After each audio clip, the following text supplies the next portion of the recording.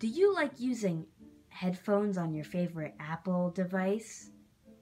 Well, too bad! Introducing the new iPhone 9.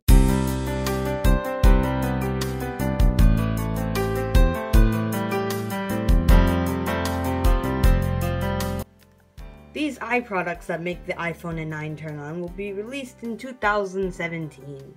Because we're too lazy, man. The new Apple iPhone 9 comes in only one color black. That's it, we didn't add anything else.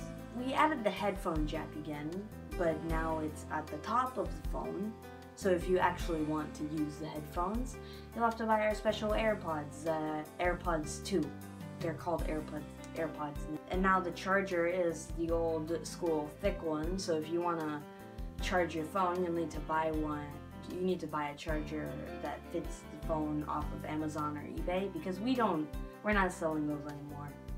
You can go buy them off the internet. I don't care. The new iPhone 9 does not turn on. You'll need our special MacBook to actually use that. And of course, the computers cost a lot of money. So yeah.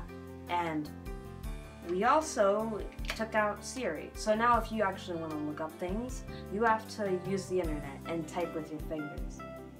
Oh, and one last thing. We changed the we changed the cameras so that now there's only one camera again.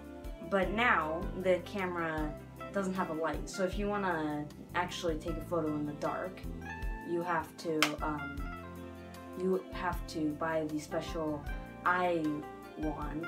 It's not from Harry Potter.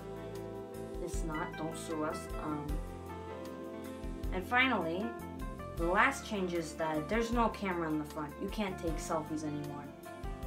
Yeah, we're Apple. We make money. Deal with it. You buy our products.